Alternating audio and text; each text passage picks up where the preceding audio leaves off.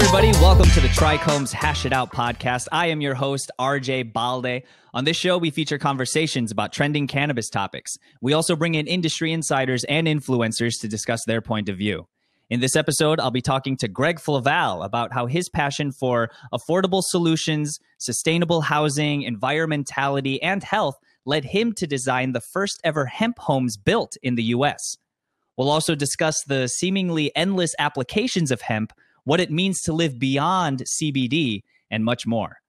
Without further ado, it's time to hash it out. All right. Hey, everybody. My guest today is Greg Flavall, co founder of Hemp Technologies and the builder of the very first hemp homes in the US. How's it going, Greg? Thank you so much for joining me today. I'm doing fine. Thank you for asking. Good, good. Now, where uh, where are you joining us virtually from?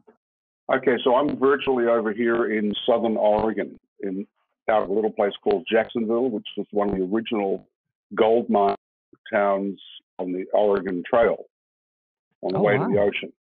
Yeah. Wow. In fact, That people are still still panhandling for gold around these parts. Are they really? No, yes, yes. Wow. There's still, there's still, still business booming for uh, trolls and and uh, panners and you know little little pieces of equipment to to go find gold at weekends. Wow. Wow. I've I Mm. have not uh, been up to that part of Oregon, but I would love to visit someday. That sounds Beautiful. It reminds us of New Zealand, but ten times bigger. Ten times bigger than all of New Zealand, huh? Right. Uh-huh. That's awesome. Now, I, I understand that you happened, or you just so happened to share a birthday with a certain founding father and hemp grower. Uh, can you tell me tell me more about that? well, I don't know whether whether I'm being politically correct now. Am I? in this in this day of liberalism and everything else. Let you it rip. say the wrong thing, and all of a sudden you you know you're getting lynched by the Twitter mob. Right. no, you're fine. You're totally fine. So George Washington hemp um, is the uh, is the is the backbone of what we do, which is fiber hemp. I'm wearing a, I'm wearing a hemp shirt.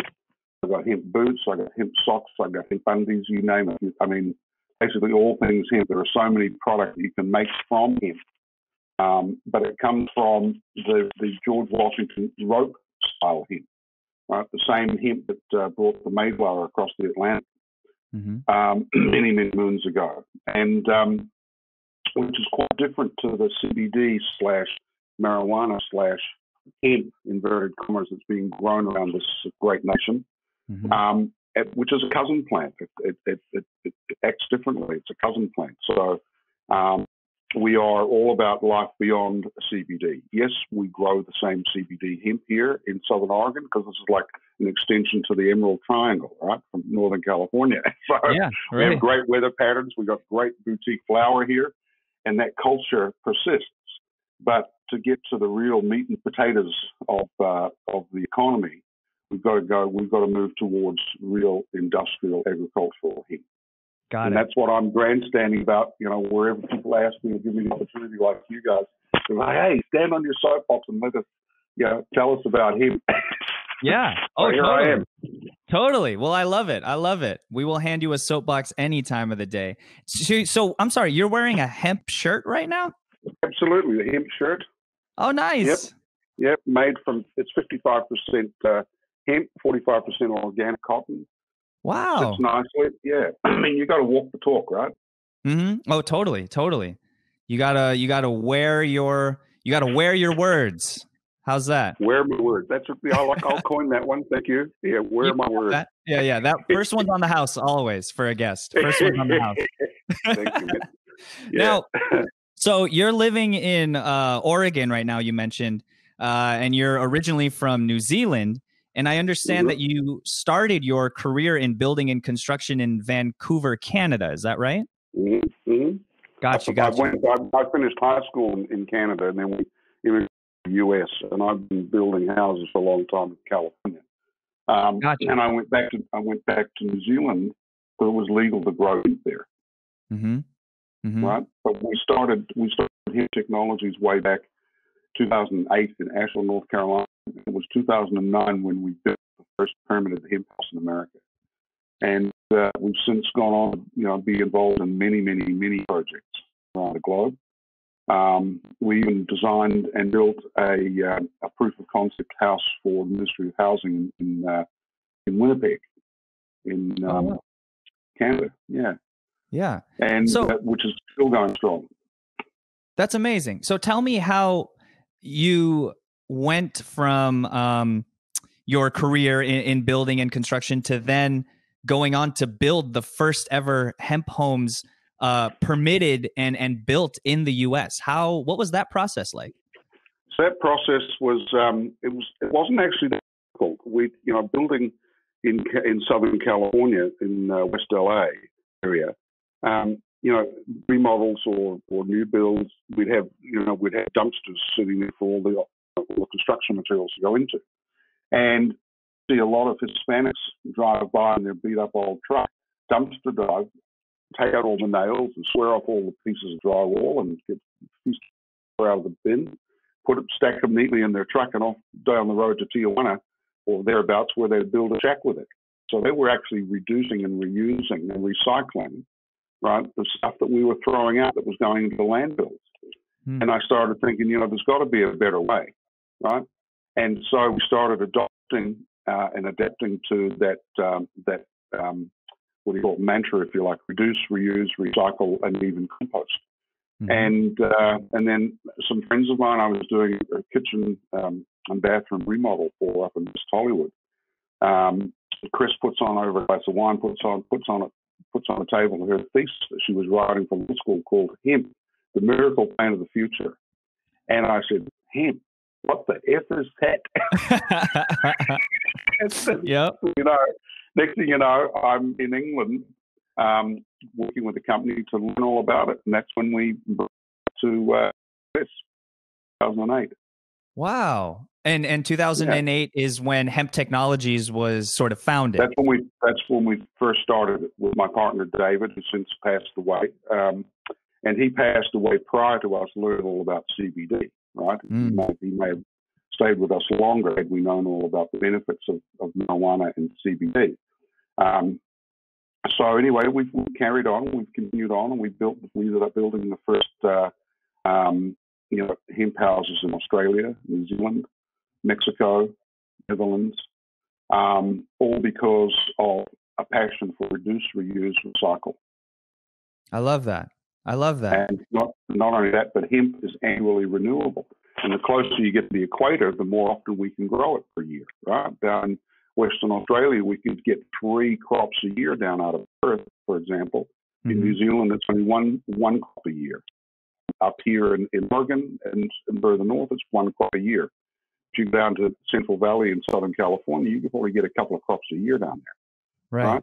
So it really depends on you know on geography um, and topography as well. I mean, and altitude. When we go above 1,500 feet um, uh, uh, of sea, from sea level, we start to incrementally increase the THC value in, in the plant. So, you know, growing mm-hmm. up in the mountains for cannabis is great, not necessarily for him, right? Not, I mean, having having said that, if, when I start, when I get on my soapbox in the Southern Oregon area about industrial hemp or George Washington hemp or GW hemp or you know, rope hemp or fiber hemp or whatever, they they pull out the skull and crossbones. and I say, it's okay. I'm not doing it here. right, right, right. chill, chill. yeah, chill.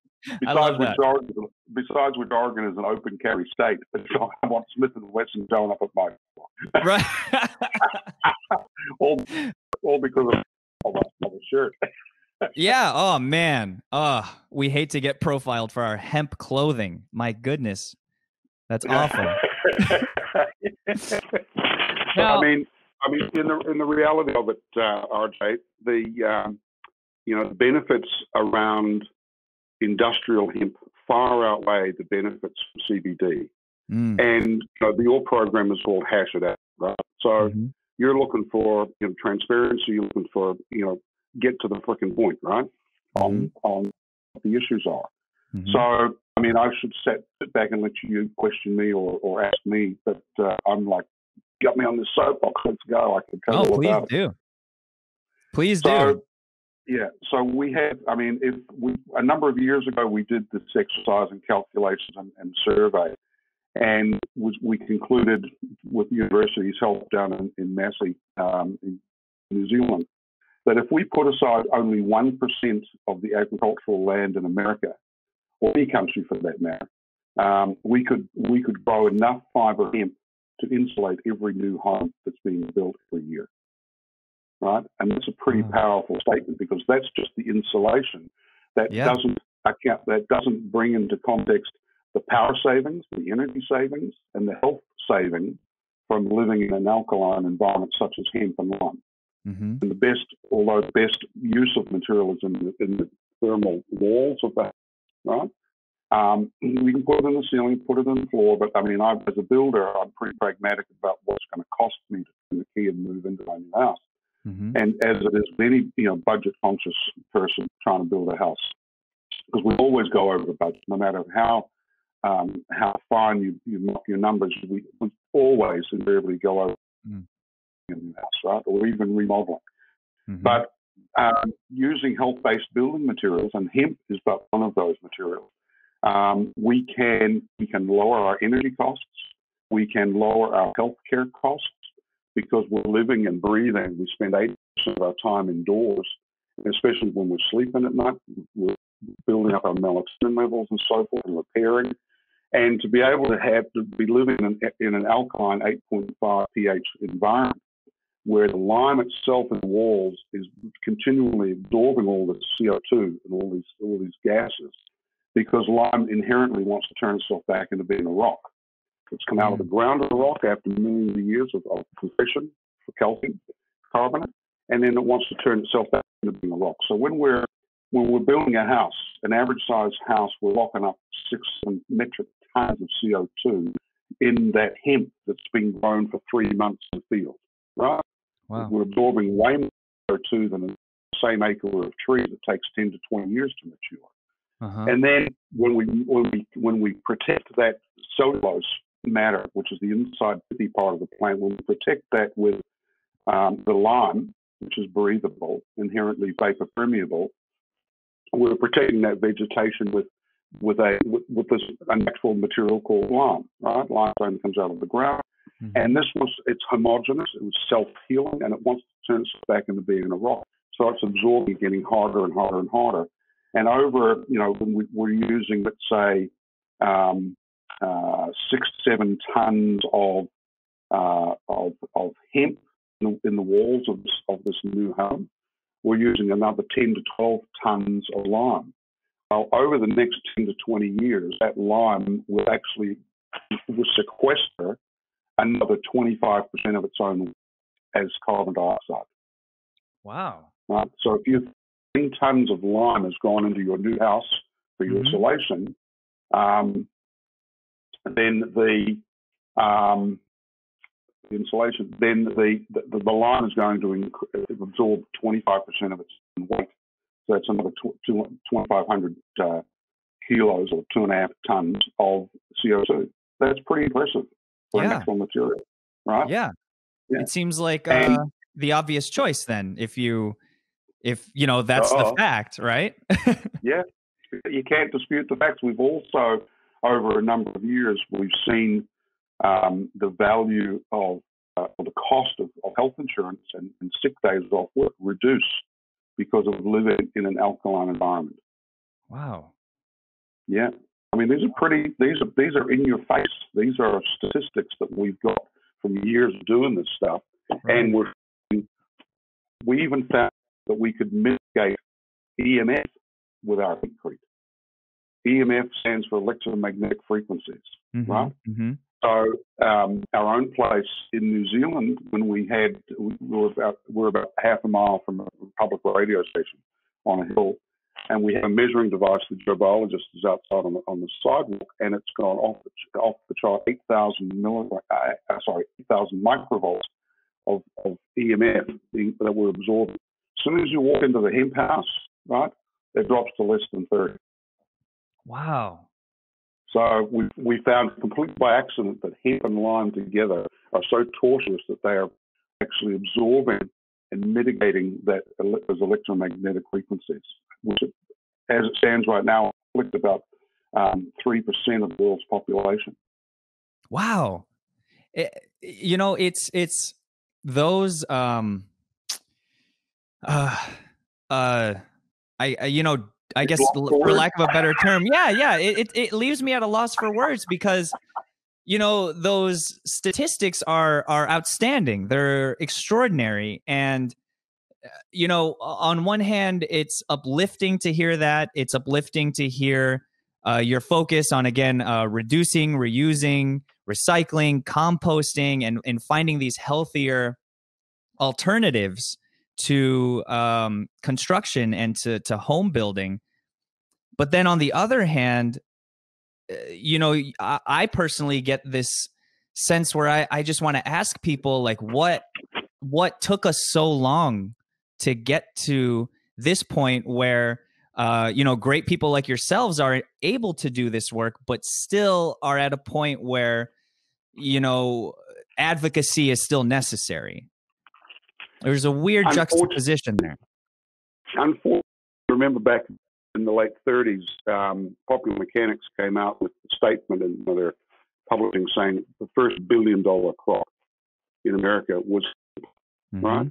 And shortly thereafter, you've got you know you've got these other entities from behind the scenes trying to protect their own patch, and so they put out this madness and they put out this propaganda BS that comes through the through filters through to everybody. And then prohibition hit, the Marijuana Tax Act, um, mm-hmm. makes it unviable for farmers to grow uh, hemp. And then when the war, when World War II comes back, you know, it, it's hey, everybody, all hands on deck. We need ropes for the ships. Go grow some hemp again, right? Then the war comes to an end, and all of a sudden, ah, sorry, we don't need your hemp anymore. I mean, it's the same old, same old BS brouhaha that's been going on for a long time. People you know, get weary of this and they and they, and they look at hemp. It's bad. It's it's bad juju, right? It's right. like marijuana. People don't really understand the, the, the beautiful medicinal value of of weed and different strains of indica do different things for different people. Mm-hmm. Um, and what we're growing is sativa, right? We're growing uh, cannabis sativa L, which is the um, which is the George Washington style hemp. And I, I we use GW hemp a lot because it kind of clarifies the difference between a plant that grows you know, six to eight feet tall and a plant that can grow 20 feet tall. Right. right. I mean, you, you run around America right now, and farmers are growing. They're, they're planting at a seed rate of about, or a, a seedling rate, I should say, of about 1,800 to 2,000 plants per acre. Right, hoping to get you know five, six, seven hundred pounds of top flower that they can send up for smoking. Right, people mm-hmm. are going to smoke that and get over smoking cigarettes, or they're going to smoke that and better, or for whatever reason, you know, we've grown that that flower. Mm-hmm. That leaves stalks. End of the day, about um, um, four to five hundred pounds of stalk that's left in the. We are now picking up sticks, if you like. I'm trying to point to pick up sticks, right, from being a kid, because that and the farmers, the farmers now that cannot uh, burn their sticks um, they're calling us up saying, "Hey, we've got sticks. So you want to come get them?" And I'm saying, "Sure, we can. We can. We can process that. We're building a decortication plant here in Medford where we can separate the fiber. We already have um, requests for the, the fiber going into paper, and for the cellulose being ground down going into plastic. Right. Wow. So we have we have a lot of a lot of pretty cool initiatives. So we're taking material and turning it into something usable, right? Mm-hmm. And speaking of usable, here this is a paper. This is our this is our hemp straw. No way. Plastic, hemp straw. We've got um, a whole range of them now, right? These are you can see those. Yeah. These are hemp straws that will biodegrade within a year. Oh, that's amazing. Right? So this is, and we've got uh, um, car parts being made from from hemp from the cellulose, right? Wow. Um, BMW, Mercedes, for about 15, 16 years now, all their interior door panel dashboards and glove boxes are made with hemp. Oh no right? way! I didn't I mean, know that. You did not know that. Even the Viper has uh, hemp in it. What? Yes, mate. wow. Wow. All sort and hey, thank you so much for bringing prop. You're the first guest to bring props on the show and I really appreciate that. thank you so much for for no coming worries. prepared with a visual. I I really appreciate it. Thank you. well, hey, I'm, I'm we're we're getting the word out, and the thing is, yeah. we're using every part of the plant, right? So going back to my seedling rate of 1,800, 2,000 plants per acre, mm-hmm. and I've given you the difference with that. With the GW hemp, we're planting at a rate of around 30 to 40 pounds of per acre. And there's, there's a male and female, right, uh, which is classed as a dioecious plant, mm-hmm. meaning male and female, and then you need the males, you know, to pollinate the females, and then they take off, and the males wither up and die, and you've got you've got biomass. Every foot of growth is one metric ton, right. and we're talking 14, 15 foot plants at a at a rate at a, at a compound rate of about five to six hundred thousand plants per acre. Huge wow. difference. Two thousand, five hundred thousand. Right. Five hundred thousand. Just so a bit of a difference. There's, there's a huge difference on four or five pounds of, of stalk or sticks out of the, out of the current fields that you see around the place we're getting you know four to five metric tons of of biomass out of the field. Wow! Right? Wow! Eighty percent of everything that's uh, eighty percent of everything that's grown right now, for in terms of him, the, the, the hurd is going into animal bedding. Right? Okay. And I'll explain all the benefits of animal bedding. Um, and, and another 20% is going into construction. So that number has increased a little bit over the last five or six years. Mm-hmm. Um, and we're seeing we're seeing a bigger uptick now in uh, in the fiber in fiber style hemp, in the GW hemp for for bedding. Since the start of the pandemic, we've seen a 3,400 percent increase in backyard chicken sales. Right? Oh, so wow. People think, hey, first they want to move to the country. Second, they want to have backyard chickens laying their own eggs, right? Yep. And all of a sudden, so the, the little small chicken chickie bags you see in the in the in the pet store They've they've got up 3,400 percent increase in sales. To go with that as a corollary, people are looking for bedding. Wow. And so we've had we've had a huge up in animal bedding from hemp because wow. the hemp is for chickens. You don't need diatomaceous earth. The hemp will will mask the smells. It also absorbs all the, all the, um, the poop and the wet stuff and kills mites. Right? Wow. It does all of the above. All of the above. Wow, that's... but you're not going to, but, you, but you're not going to get that out of marijuana hemp. Right, it's, right, right. There's a, diff- clear distinction. Clear distinction, right? Mm-hmm. Because when, when you microscope up the, you know, the, these little slivers of, of cellulose, you'll see that they're full air holes, like a sponge. Mm-hmm. And that gives it that good characteristic of being able to absorb the smell, breathe, um, and last a long time. We've even we've even used it for oil spills, right? And the same material you put down on, a, on an oily patch in in your local jiffy in your local jiffy lube place, for example, it's got oil all over the floor. You put put some hemp down there on that on that spill, leave it there for for a couple of weeks. You come back and you take that up. It's absorbed all that, all that mess. Not only that, it's made that cleaner than the rest of the than the rest of the floor. I mean, it's just like whoa, blew wow. my mind when we did this. Yeah, we had we we put some in bag three years ago with some hydraulic oil, right, out of a uh-huh. like a um, forklift. Mm-hmm. And after a year and a half, still, the last time I was there, I looked at the bag and it still had it had let nothing go. But most absorbents will take up and then let stuff go, and the hemp takes it all up and doesn't let it go. It's amazing. Wow. I'm, you know what? I knew that, you know, hemp has a variety of uses. I knew that for a while, but I'm not sure I knew it to this extent that you're explaining to me now. This is incredible information and, and, and incredible insights. I, I want to ask you, what was your process like for uh, finding the the perfect formula for hempcrete, and how many iterations of it did you have to go through uh, before you finally landed on the solution that you like? Um, I actually just I, I, cut to the chase and you know um, went straight to the source because in England and Europe they've been dealing with this stuff for you know 20 years plus. Mm-hmm. Um, and I had the I had blessed opportunity to go to Paris, France, in 2009, and with my partner David, and we went to an actual hemp house that had had a big fire, two story, uh, that had an internal fire, okay. and even the bricks out of the chimney had had fallen off, right? But this everything inside this house was obliterated, demolished, fire. Mm. The four hempcrete walls were still standing. No way. Nothing happened to the four walls. The walls still wow. So now, so now they've renovated that house, and even the roof has got hemp in it. Before, between the walls has got hemp in it, and obviously they haven't had a fire since. But this was pretty incredible to see this, and their their their mix was real simple. It's four one one, four parts hemp, one part binder, one part water. So we sell the hemp and we sell the binder, and all you got to do is add water.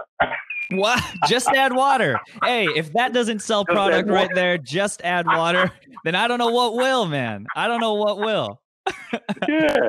there has got to be a better way. I love that. I love that. That is so rad. That is so so cool. Now you mentioned uh, the um, uh, uh, bedding, the the pet bedding. Is that a product that you also sell on Hemp Technologies? Because I understand, yeah. I, I, looked at the website, uh, and Hemp. Technologies offers an array of products and services from you know full on hemp building to uh, uh, supplies, uh, hemp flour, and then even even pet products. So just tell me more yeah. about the the massive uh, the wide scoping array of of products and services that Hemp Technologies has to offer. So the, the, the animal bedding basically is the same material that we use to mix lime to build a house with, right? Okay. So we what we've done in the in the processing facility is instead of having two different sizes, we've gone to more of a universal size, about a half inch in length material. Mm-hmm. That way we can we can, service the the, uh, the pet market as well as the construction area. The um, the equine use of is amazing. So although hemp is, is considered a premium bedding product, mm-hmm. uh, and you will pay more for it, we actually did this exercise in Australia about eight years ago. I went through a trajectory on a spreadsheet for in the field, and after 12 weeks, sorry, 10 weeks, we were cheaper than sawdust and, and shavings. Right? Wow. Because we've got lower transportation costs, we've got lower muck out costs, we've got lower labor costs overall, right. um, and lower storage costs. And although more expensive than wood shavings and, and sawdust, um, after, after 10 to 12 weeks, comparing with labor, actually cheaper than those other two mediums. Right? And the horses are healthier because they're not going to eat it. Very low dust, very good for horses to have um, breathing problems, um, and it doesn't it doesn't it doesn't stick in their hoofs. Right? Oh yeah. So horses actually, once they've used hemp, they won't use anything else. Wow. So the Queen of England, all her horses, all her big, big value horses are laying on hemp. wow. No way. yes, why? That is wild. Once you go hemp, you don't go back. That's what they say. You can't. I love that. And there is actually a, um, a friend of ours, um, uh, John Roulac, who has Nutiva. You've heard of Nutiva. So many years ago, I was putting together a hemp village in New Zealand, and I, he gave me permission to use his video and edit it out the way I wanted to. Do. But it's a very good video with looking up at bioluminaries, mm-hmm. and it's called "Hemp Can Save the World." Mm-hmm. And they have it's a it's a it's an info video um, of the luminaries talking about all the things that hemp can do. You should look it up, and your viewers take a look at it because it's an awesome three and a half minute uh, video on hemp save the world. Totally. And we're actually going to be using part of that in our um, for our radio stuff that's coming up shortly in some of our um, uh, educational series that we're going out there. Hemp can save the world, and it really can because if you look at Byline, we've got food, fuel, shelter, jobs, medicine, maybe even mm-hmm. world peace. Hey, I, I know. Which, I mean, based on what you're telling me, hemp can solve a lot of problems. So why not throw world peace in there? well, let's let's let's go back to the numbers now. Numbers let's. don't lie. Right? Mm-hmm. So we've got we've got a pandemic besides the, coronavirus in America. Um, every day throughout this great nation, you have around 20 plus returned vets taking their own lives, right? Mm-hmm. But equally, if not more important, you've got 40 plus small family farmers around this country doing the same thing. Right? They just can't take it anymore. They can't get enough credit. They can't feed their family. They can't pay bills. They're, they're, they're in debt. Um, they can't get money to put seed in the ground for next year's crop. Mm-hmm. And and and in any event, they're making two fifty, three hundred dollars an acre net from growing soybean, soybean and and, and uh, right. So with hemp, with industrial hemp, at 100 bucks a ton, they can actually make twice as much money growing growing industrial hemp, right, at the farm gate.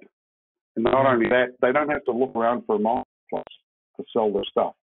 Not One right. farmer in America from last year, from last year's growing season, made made came out on top, made any money. Right? You had suicides, you had you had depressed pricing, you had um, even ourselves. We put uh, we planted CBG when we were eleven hundred dollars a pound for smokable flower. Mm-hmm. In, in the matter of three to four months, once we once we harvested back, a year ago October, uh, the price was two fifty a pound. Right? Oh wow! So to put it into further context, around this great country, 240 odd thousand legal acres of hemp grown. Mm-hmm. When I say hemp, I'm talking CBD hemp, right? Okay. This sure. is marijuana that's had THC selectively bred down to, to potentially be below 1%. Mm-hmm. Right? Mm-hmm. And of that 240,000 acres, we only need maximum, maximum, maximum 50,000 acres to service the whole demand in America for oh. CBD product. Wow. Right? Yeah. So you can you can see we've got an abundance of material sitting on the ground, right? This year we didn't grow as much. Across the country we didn't grow as much because a lot of people got hurt last year financially. They put they they were speculating and they took mum and dad's credit cards, everything they could get out of the bank against the house, whatever, and they put it in the field, mm-hmm. only to be sat down at the end of the season because they couldn't get the sales. They were like, who do we sell to? Right. So then you had a race to the bottom in pricing, right? So we're seeing the same thing this year as well, but now people are more hip to getting a better quality product, right? Mm. So they're being a bit, bit more uh, selective in terms of what they're buying, and again for the least amount of money, obviously, right? Well, right. We're going to have the same issue this year again when people when farmers are you know jumping over each other trying to get to the next buyer for how many pounds they don't know. With mm-hmm. you know with with industrial hemp, right? We can make a whole bunch of products that are already being sought after now. Right? Wow. Yeah. They, and we and we just we don't we don't have enough. I've got I've got a standing order for 20 containers a month for horse bedding uh-huh. in this country. Right. Uh-huh. I can't supply it because it's growing industrial hemp out there chasing the CBD dollar. Right. Right. Right. Now, it's not. I mean, it's not. It may not be a sexy product, being growing rope hemp and then cutting it down and leaving it in the field. But you know, within our collective, you know, we do almost twenty thousand acres in Europe. Eight people, eight people, because we're we're we're we're using mechanized all the way through from drilling seed in the ground right through to, right through to the harvest at the other end. Mm-hmm. Um, we don't need to run plastic and drip tape like we do here, which is totally not sustainable. Right. Um, and we clean that field at the end of the day. We put all sorts of microbes and other things into the into the into the soil. We, we're constantly feeding these girls, you know, and we and you know I feel like a pimp for three months of the year, walking the lines looking for males out, right? because you can't have any males in the field, right? and we pay, bonuses spot them and find hermaphrodites, right? Oh, Get no them, way. Get out of there. Right? Wow. Where that is with with George Washington hemp, RJ, you, you haven't got that problem. You just put it in, you let it go. Mother Nature does the thing. And at the end of you know, at the end of the hundred days, hundred or so days, you're cutting it down with a sickle bar mower or uh, distant cutting, laying it in the field for a couple of weeks, letting it, letting it field ret, which is Mother Nature doing her thing with the wind, the sun, the rain, and everything else. Sure. And then we take it into the processing facility where we're putting it through a big hammer process to separate the fiber from the hurd, right? Mm-hmm. Mm-hmm. Now we've got bales of fiber at the other end that we can use automotive or 3D printing or whatever. And we've got um, and paper as well. And we've got uh, um, our big, big mountains of hurd that we use for broiler chickens. We use them for uh, for pet bedding. We use it for plastic. Um, we use it for all sorts of stuff. I mean, I can, I can go get my briefcase and I can open it up for you, RJ, and I can show you a whole bunch of stuff that we make from him. I bet you could. I bet you could. And you know what? I, do you feel like there are even more uses for hemp that haven't been even discovered yet? And are you exploring any um, new applications for hemp? Yeah, in fact, yes, RJ. We um, we just about six months ago we did some R D on making graphene. I'm sorry, say so that graphene, again. Graphene. Oh, okay, okay. Graphene is, is a power storage, right? It's it's battery storage. It's mm-hmm. uh, um, uh, compared to lithium, right? Uh, the, the, trial that w- the trial we did in house, we got 300 milliamps out of our graphene as opposed to 30 out of lithium. It's what? 30 greater than lithium in terms of as supercapacitor. And this is hemp. Yeah. This is the inside. This is, this is the hemp plant, mate. And we take it and we do a few things to it and we burn it and we get a, you know, I, I made a, I made a, you know, a 55 gallon drum um, outside fire pit, right? Mm-hmm. I get some of the, I get some of our hemp. I've crushed, I've shredded down everything else. I soak it in some stuff we that we learned about.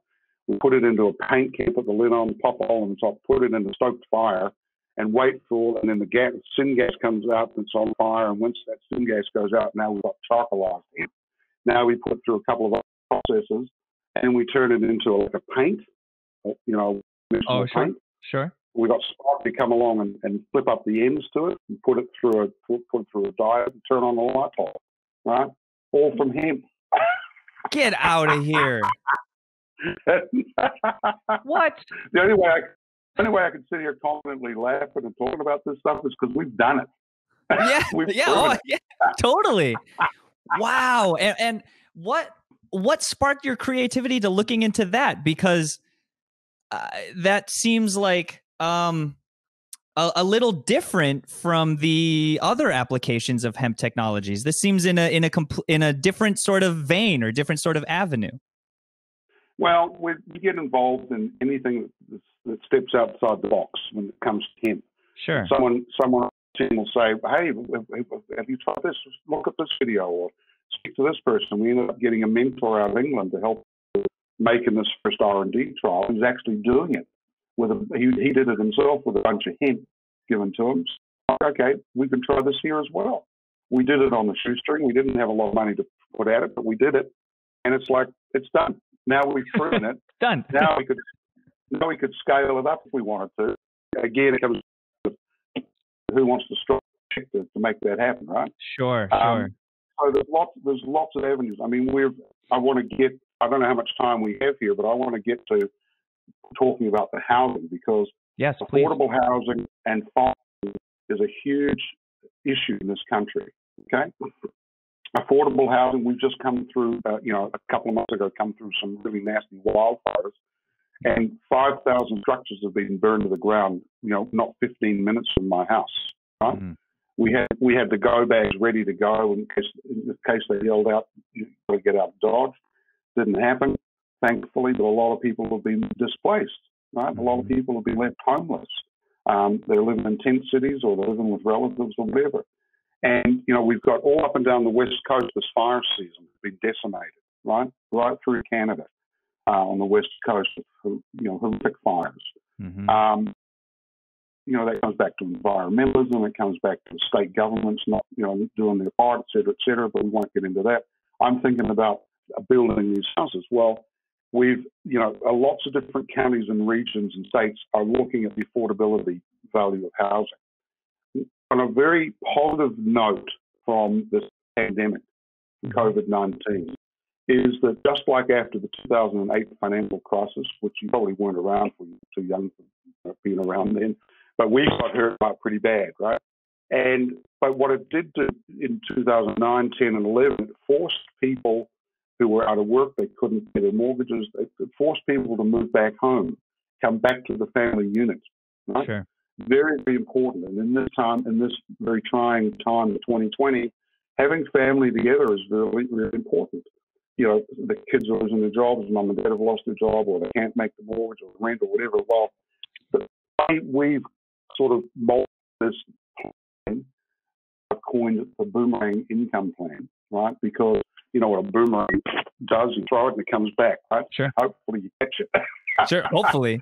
but you know, as, as as a baby boomer, right, we've spent 30 plus years paying into a mortgage every month, right? Right. Growing up the children, they've grown up, they've gotten married, they've moved away, they've got a family somewhere, you know, far away or close by or whatever. They're not with us, right? Mom and I, mom, mom and I are rattling around in our 2,000 square foot house that we raised the kids in, but we don't need that much space. Mm-hmm. How about we bring the kids home, right, with the grandchildren, and let's create that community within our current environment. Mm. Right? Statistically, 90% of people over 65 want to stay in their home as long as they possibly. Mm-hmm. So why not make that ADA compliant accessory dwelling unit slash granny flat in the backyard on the existing family home site? Bring the kids and grandchildren back to the big house. Mum and I will move into our ADA compliant, you know, smaller, you know, self-contained unit. And now we've got a two-way babysitting operation going. Hey, love that. Added bonus, an added bonus indeed.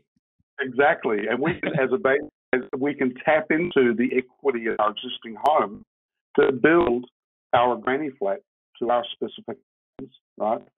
And have it, you know, universally designed, ADA compliant. When I when I say ADA compliant, Americans with this, Mm-hmm. you want things, you know, level step entries. You don't want two steps. You want adjustable height countertops. You want door handles and not door knobs, right? Mm-hmm. You want 36 inch hallways and doorways as opposed to 32, so that you know, I got to have a walker or, or a wheelchair. My accessibility is not impeded, right? Mm-hmm. So all things come into in the design of it. Counties and regions around the country are addressing this now by lowering the fees associated with getting a permit to build an ADU.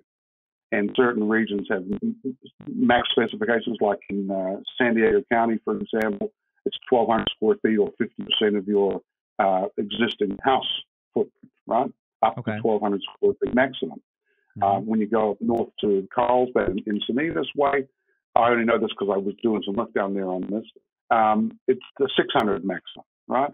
Up here in Talent and, and Phoenix, it's 800, right, is the maximum. Well, you can give, you can put two nice bedrooms and a, and a kitchen and living room in 800 square feet, right. right? You can be Right. quite comfortable. You're not rolling around and you're, you're living comfortably. And you know you could you've got the grandchildren right next door. we love that. Yeah. We Yeah. love not having to search for a, a um a babysitter. Just send the kids to the backyard to the babysitter. Exactly, right? And as we get older, you know, the, the kids will, will help look after us too, right? And so this pandemic has, in fact, helped people real families realize that they could let's use what you've already got, tap into that, and have the kids pay back that pay back that mortgage. It's going to be it's going to be cheaper than getting another house somewhere else anyway. Mm, right. And so this led, this has led me to uh, talking to different companies about embracing getting on board with our with our sustainable based building materials, including hemp. And now we're working with the City of Medford for um, potent, potentially buildings to use with them. We're working with a prefabrication company so that we can actually make, make kit set homes off site, put them on the back of a truck, take them to where they want to go, um, and have the, have some erect them on site. I mean, wow. it's really a no-brainer. Yeah. Wow. I, yeah, and that was going to be my question: is how uh, have you been um, working toward uh, getting this this strategy or getting these solutions out? So it's great to hear that you have uh, uh, struck partnerships with these organizations to uh, to get that to get that out because, like you said, it seems like a no brainer. There's a no-brainer, but it's about the education, Andre. You've got to, you know, right. that's why we've got some you know, some backers federally and state statewide to help us or, or, or support us in me getting on a soapbox to talk to people about life on CBD, right? Totally. There's another way besides And I revert back to the fact that, you know, we're, every, we're growing CBD hemp across the country on the, on the whiff of a promise of making tons of money, right? Well, it hasn't happened, obviously. Now we've got a material on the ground that we need to turn into or need to store it, turn it into medicine at some point in the future. Mm-hmm. But the val- the real value in this in this plant is growing fiber hemp. Not, you're not going to. It's not not going to make you know hundreds of thousands of dollars on the farm from growing CBD, but you're you're hoping on a win the prayer that you're going to make it now anyway. Whereas right. for a solid for a solid you know solid um, double return of what you'd be making planting soybeans and corn, you know you can be part of something much bigger and helping to save, you know, the, save the planet at the same time because it's environmentally conscious. Because every acre of hemp you, you're growing, absorbing CO2. Now we go lock it up right. in a house, and we're, and we're sequestering more CO2 with the lime. I mean, it's just, it's like I I tried for a long time to find a downside to this. Uh, the only downside I could find was the uptake in first house that we ever built back in Asheville, North Carolina, um, we ran an educational day for all the local authorities to come along. And at the end of the day, even the fire department was saying, "We want to, we want to build our next um, house out here because the stuff doesn't burn. We get, we get right. a sixty percent discount on our fire insurance building with him." Oh right? wow! Yeah, and so the, the naysayers, you know, the, the jokesters, the late night comedians, you know, would would would would would would, would um, flashlight us or whatever, right? Or spotlight us. And, you know, these little piggies Carolina are building these houses, the house puff blow down. Ha ha, we're going to have a party when it catches fire. This sort of stuff, right? But it's yeah. not, doesn't happen. Right. it yeah. doesn't happen. Yeah. It just doesn't. Yeah. And all the, like, the proof is literally right before your eyes. And, you know, again, there's no disputing the facts of, of the, of yeah. the matter, you know, it, it's, it's unbelievable the uh, the versatility of the hemp plant um, and GW hemp in particular is it's truly astounding. It blows blows me away every time to hear about it, particularly from someone as adept in the field um, as you are. Um, you you mentioned uh, throughout the our conversation here uh, that you sort of live by this mantra of of life beyond CBD. So I just want um, I just want to ask you where that sort of originated from. Is that something that you picked up somewhere and then you've sort of adopted, or is it like how did that come to you? I actually, it just came to me. It's, it's not life after CBD. It's life life beyond. beyond I'm sorry, right? And life it, beyond and CBD. It came, yeah, and it came to me after speaking with the guy that runs Farm Bureau here in Oregon, right? Okay. And the Farm Bureau is a, is a national organization, just like uh, the grain organization. I've spoken to them, and farmers are leg- called legacy farmers, right? And legacy farmers in America, every day you've got 10,000 people turning 65, retiring, putting their hand up for the Social Security, and, and life goes on, right? Mm-hmm. And we all know that we all know that Social Security is underfunded and is going to go broke in the next, next years, right? Um, but the farmers, the kids, don't want to stay on the farm because they've seen the rough ride mum and dad have the farm. They want to get out of Dodge and go go to town. Right? Sure. But sure. if there's a way to help them stay on the farm, right? The legacy farmers need to know that they're and, and legacy farmers are amongst 65 pluses as well. You know, retiring. Who's going to take over the farm if it's not a conglomerate, right? Mm-hmm. Um, mm-hmm. But there is a way to pass on, and there's a way to do it because look at that, you know, us back in the growing, and you know, 200, 300 bucks a year. Right. It's just not going to. It's not going to get us seed for next year, right. let alone pay off the bills and pay the mortgage, blah blah blah. Whereas hemp will literally save the economy, and we can do it all onshore. Right. We don't have to be. And right now we're in across the Atlantic, right, from Europe. Um, which is you know, six or seven thousand dollars every time before container hits the water, mm. right? Well, we save all that by growing it domestically. Right. And we and we can put all these people to work. We can be doing all these beautiful products made from domestically grown hemp, but we've got acres and acres and acres and acres of stuff that we can do. Do you know that if we planted just 5,000 acres, for every 5,000 acres of, of George Washington hemp, we can build a million square feet of housing. Oh, wow. I did not know that, but I'm glad I know that now. yeah. I mean, and, that, and, that's that's a beautiful thing, right? And yeah. we, which means we can have we can have processing facilities dotted all over the country, doing regionally, right? Mm-hmm. Instead, of, and so how many how many jobs does that create? I mean, that's huge. Yeah, right? totally. Not only that, you're repurposing people for something they can take pride in and take ownership in. Right? Exactly. We have, you know, we, we work with another federal organization called NCAT, which is the National Applied Technology. They have what's called an Armed to Farm program, where they sponsor returned vets to repurpose them to go on the land and farm. Oh. Right? That's a national that's that's a national initiative, a federal initiative that's going on right now. Right? Yeah. And so we put together um, uh, a sister arm of that, the education. That, that it's IATHA. I think the, the girls are putting the website together right now. IATHA, I-A-T-H-A, which is the Institute for Applied Technology in Hemp and Agriculture.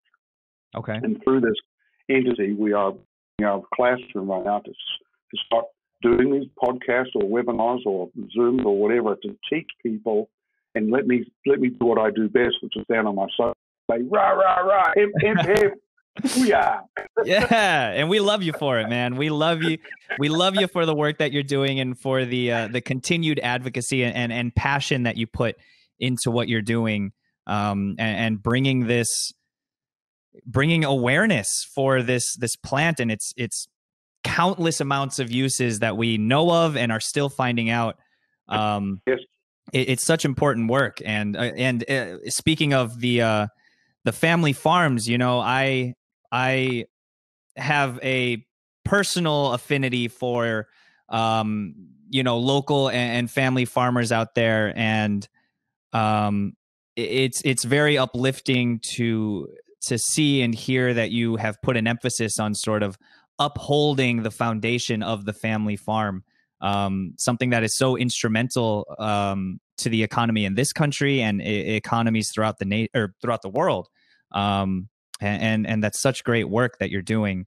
Um, and we can give you a soapbox whenever you want man. We are we love to have it. We love to hear it. We love to see it and we love the work that you're doing um, let me let me ask you this one uh, one final question here. Um, uh, you know, for the sake of waxing philosophical, if you will, um, I saw a video of you um, that was posted in 2011 on the YouTube page Hemp Fully Green. Is this ringing any bells here? Okay. Hemp, okay. Hemp fully, uh, yeah.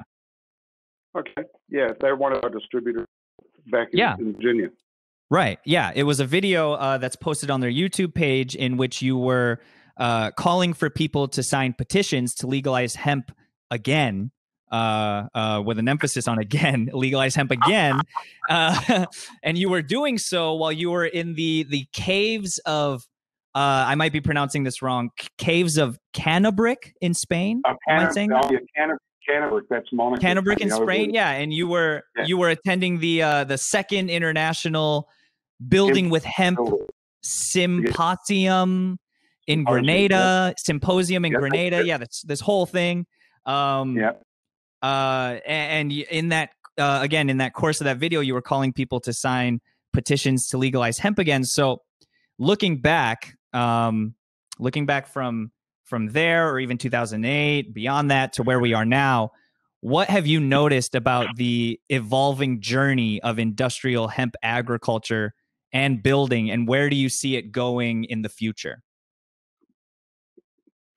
I would have to say that the uptake is getting better and better. Um, i can i can relate to uh, something that happened to us personally back in 2000 and we Mhm. had started our company called Hemtech USA, which is H E M T E C USA, and we were very we didn't want to poke our, poke our heads up out of the bunkers for, for fear someone would knock us off because we were hemp, right? Ooh, And yeah. it was after about a, after about a year of that, um, we had a, a marketing company come to give us a little bit of advice. We said, you know, you need to put hemp front and center in your name. Don't be afraid of it because it's going to cut through all the white noise. The white Mm. noise is mention the word hemp, and they're ugly people. Oh, that's that's that stuff Right. gets you high. right. And I and I would say to people, you know, if you want to get high on my hemp, you need a doobie the size of a telephone pole. So, and it's like they think, oh, whoa, whoa, okay. Um, and so we would we would um, uh, we put put hemp's front and foremost hemp technologies, and and they were dead on correct there. People started to ask, good or otherwise, probably because people didn't know or understand. They'd say, "What did you know, do you smoke the stuff or what?" And then you get an opportunity to respond and start talking about it and Mhm. people's eyes you see that coin drop and the light bulb go off. And, oh, this is a different plant. Okay, you mean you can build a house with it? Okay, mate, let's go. Right. right. Right. So it's again, the uptake is happening now because of CBD. Everybody's on their mind CBD centric, right?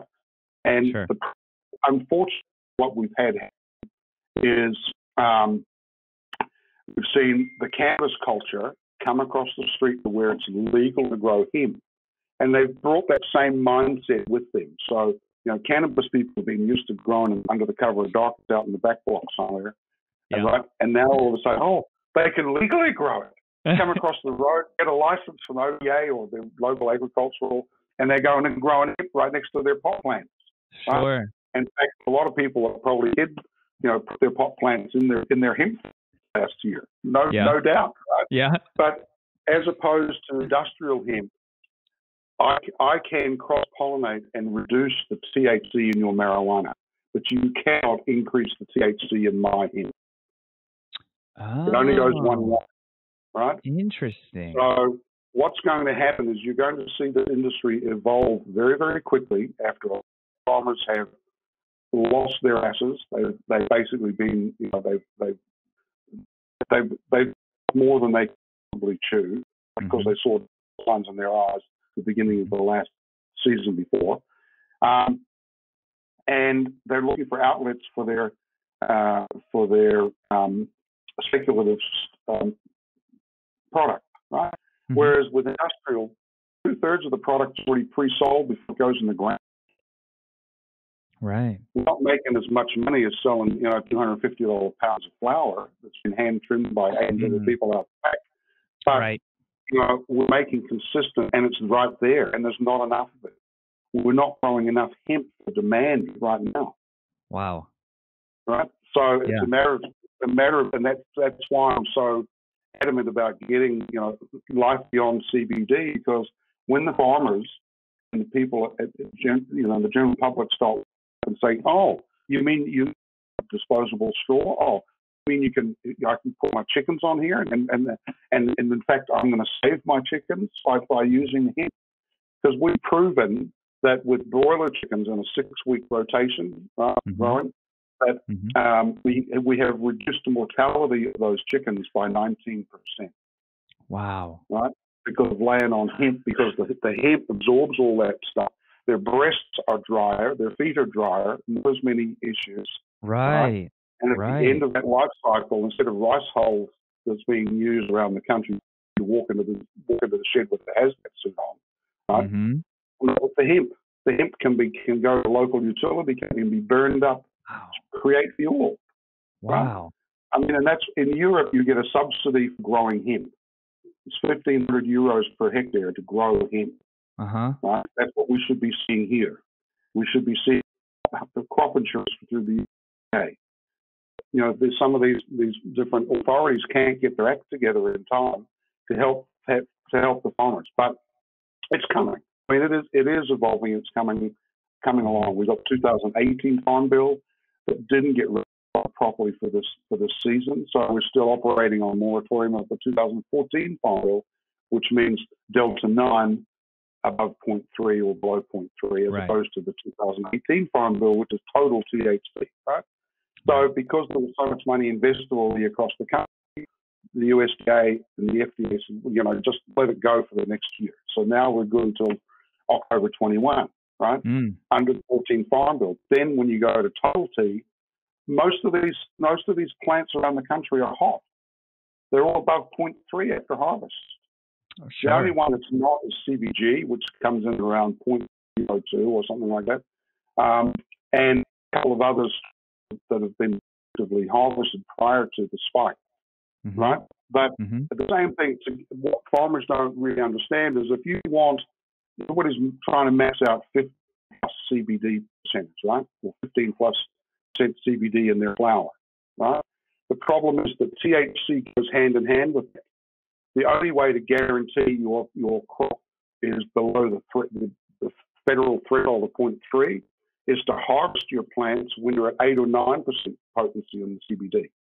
I see. I see. Right? Because right. it moves again with the daylight, sun, stress, everything else.